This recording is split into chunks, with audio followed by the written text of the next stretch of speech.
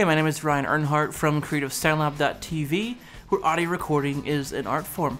Well, today we're going to be talking about recording some vocal. I have a few different videos planned out for us, and we're going to be kind of breaking up these examples over the next couple of weeks.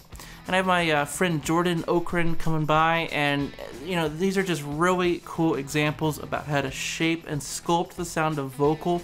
We're not using EQ here, this is just pure microphone technique.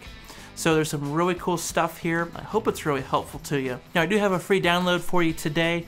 It's Microphone Technique for Vocal Recording. It's a really sweet guide that walks you through every step of tone shaping and really sculpting the sound of vocals. Now today we're going to be talking about the aiming of the microphone. So we have um, really, you know, straight at the vocalist we have aiming it up a little bit, and we have aiming the microphone down a little bit.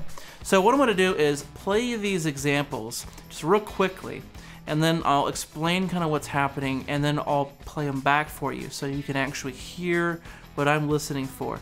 Here's the examples first. It'll be straight on, it'll be aimed up a little bit, and then it'll be aimed down a little bit. The microphone height should be nearly identical in all three examples. Check it out.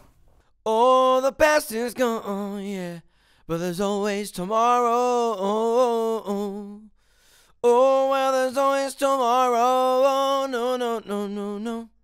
Oh, the past is gone, yeah, but there's always tomorrow. Oh, oh, well, there's always tomorrow. No, no, no, no.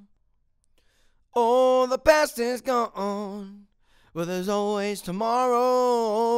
Oh, well, there's always tomorrow. No, no, no, no, no. Okay, so what was going on there is if we use just kind of the straight in approach, um, that would be, you could say, the control or kind of the standard. Um, but if you're not happy with that sound, then what we can actually do is we can aim the microphone up to somebody's nose or forehead, and that actually in a weird way, in kind of a cheesy way. Uh, you know, it's almost too easy, but you get more nasal sound out of the mic.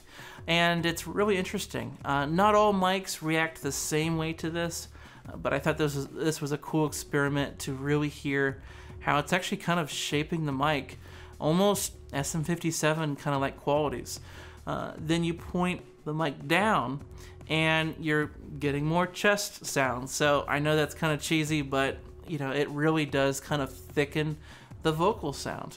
Uh, we'll go back and listen to these examples one more time, and you can tell me if I'm crazy or not. But I've been doing this for for a while, and it just seems to work. If I'm looking to dial in a little bit more of a cutting um, upper mids, I'll point the mic up a little bit, or if it's kind of a nasally thin vocalist, then I'm kind of aiming the mic down to really kind of thicken them up a little bit. Check it out.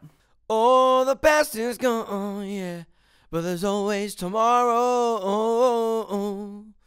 Oh, well, there's always tomorrow. Oh, no, no, no, no, no.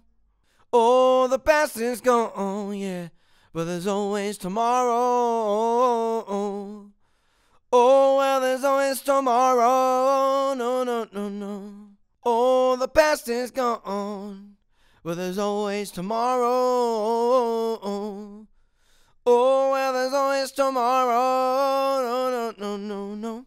Okay, so let me know what you guys thought of this. I know this was, you know, pretty basic stuff, but I think it's just a good reminder of how how malleable tone is just by pointing a mic just a little bit differently, even for a vocalist. I know on guitar amp you think, oh yeah, you know, like one inch, two inch this way, it really makes a difference.